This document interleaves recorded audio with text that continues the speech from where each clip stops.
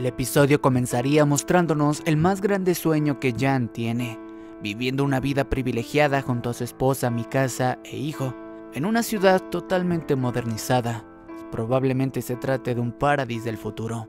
Esto Jan lo idealizó, luego de su conflicto interno de qué decisión tomar la noche del retumbar, pues Floch intentó convencerlo de que se uniera a él y a la facción Llega.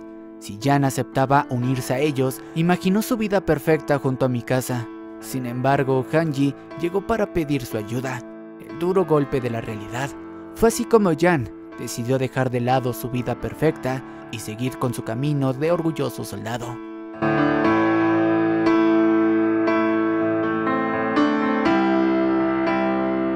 Hanji, luego de aliarse con el titán carguero y Magat, buscó a Jan y Mikasa en Shiganshina para detener a Eren, pues una masacre mundial no es la respuesta.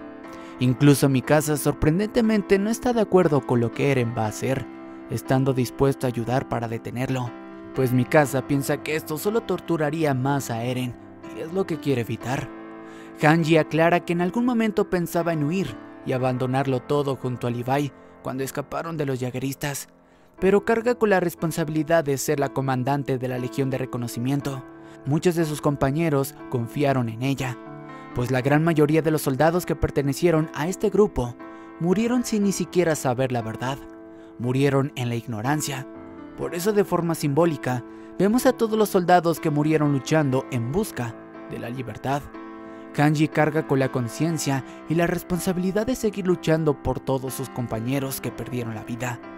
Algo así sucedió con Erwin en sus últimos momentos de vida.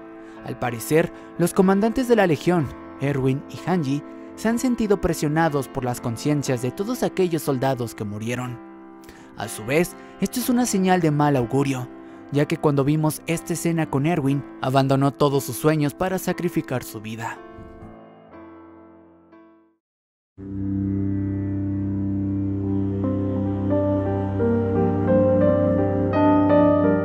Episodio da un pequeño salto en el tiempo y nos sitúa luego de lo acontecido al final del episodio anterior, donde recordemos Jan, Onyankopon y Yelena fueron capturados por el titán carguero de acuerdo al plan acordado con Hanji, para librarse así de los yagueristas, y donde en simultáneo el grupo de Armin se reunía con Reiner.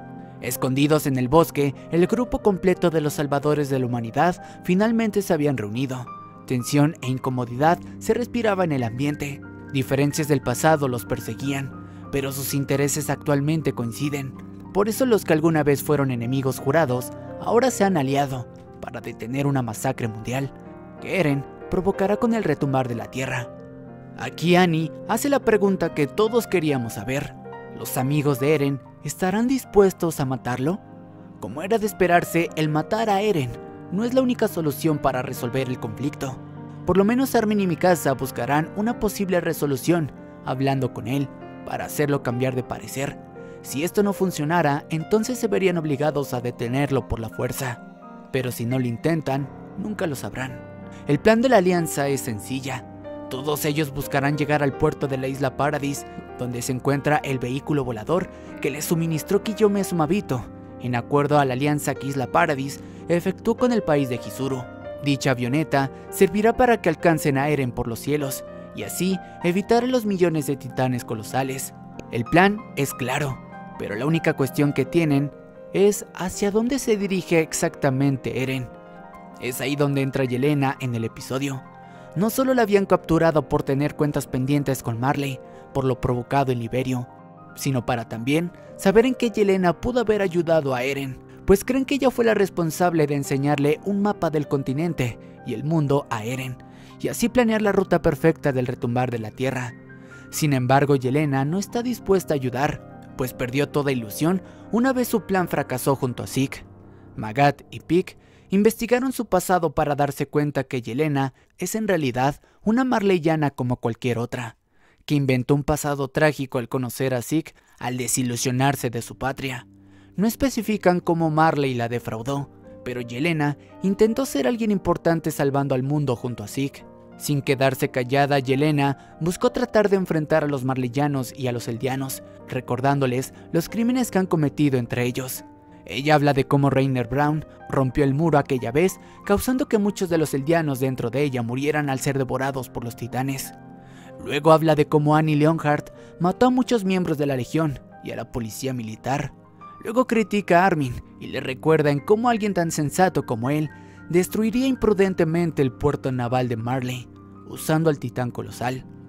Después de algunos comentarios más, y viendo que su plan no estaba funcionando, de provocar al grupo para enfrentarse entre ellos, finalmente logra tocar la moral de Jan, al recordarle la muerte de Marco Bot a manos de Rainer y Annie, pues Marco fue el mejor amigo de Jan y la principal razón de por qué él se unió a la Legión de Reconocimiento al final, pues su muerte lo impulsó a luchar por la libertad. Por eso Jan carga con esa responsabilidad, lo que hace que al recordar y al enterarse de la verdad, Jan ataque a Rainer, lleno de ira y furia. Pero todo se calmó cuando accidentalmente hirió a Gaby protegiendo a Rainer, la honorable guerrera marleyana que alguna vez odió y repudió ciegamente a los eldianos con todo su ser, ahora se arrodillaba ante ellos para suplicar su ayuda y así salvar a su familia. Gaby en tan poco tiempo durante el anime y manga ha tenido un desarrollo y evolución como una personaje muy importante.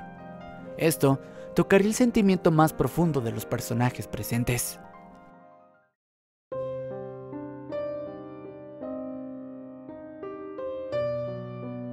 A la mañana siguiente, la alianza se pondría en marcha al puerto de Paradis para comenzar con su plan de detener a Eren. Sin embargo, llegados al puerto, Pick les advertiría la presencia enemiga de cientos de jagueristas equipados con lanzas antititanes, listos para defender el puerto y detener a todos los traidores que busquen amenazar el plan de Eren, pues Floch se dio cuenta de la traición de Jan, Mikasa, Armin y Connie, quien ahora tiene de rehén a Kiyomi a Sumabito. La alianza tendrá que enfrentarse a la resistencia de la facción Yega si quieren salir de Paradis.